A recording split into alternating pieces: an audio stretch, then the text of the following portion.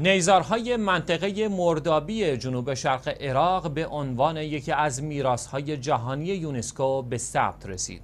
نیزارهای بین النهرین که توسط رودخانه های دجله و فرات آبیاری می‌شد در سال 1990 توسط صدام حسین خشکانده شد ولی پس از سقوط وی و تخریب صدهای ساخته شده به تدریج حیات خود را باز یافت و تا سال 2005 میلادی در حدود 40 درصد از مساحت قبلی خود را به دست آورد. دولت عراق گفته است تصمیم دارد مساحت این نیزارها را به 6000 کیلومتر مربع برساند. گفتنی است آثاری که به عنوان میراث‌های جهانی یونسکو به ثبت می‌رسند بر اساس کنوانسیون حفاظت از میراث جهانی فرهنگی و طبیعی متعلق به تمام انسانهای زمین فارغ از نژاد، مذهب و ملیت خاص محسوب می شوند و دولت ها موظف به حفظ و نگهداری این آثار هستند. یکی از مکانهایی که میلیون ها شیعه امیدوارند تا بر ثبت آن در فهرست میراث های جهانی یونسکو همت گمارده شود